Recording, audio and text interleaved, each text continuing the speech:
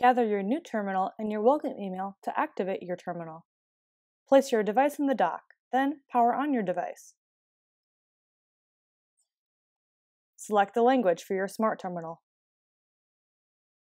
First, establish your Wi-Fi connection. A secure connection is required to process transactions.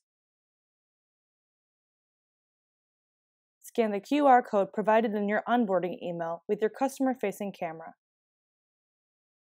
The icon above will indicate a successful activation. Review the Poynt agreement and elect to continue. Now, create a terminal user. This first user will be created as an owner. You can edit these later on in your Poynt HQ web portal.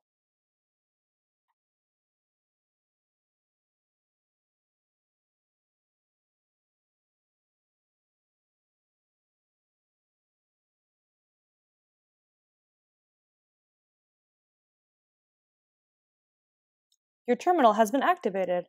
Add additional terminal users and customize the look and feel of your terminal at poynt.net.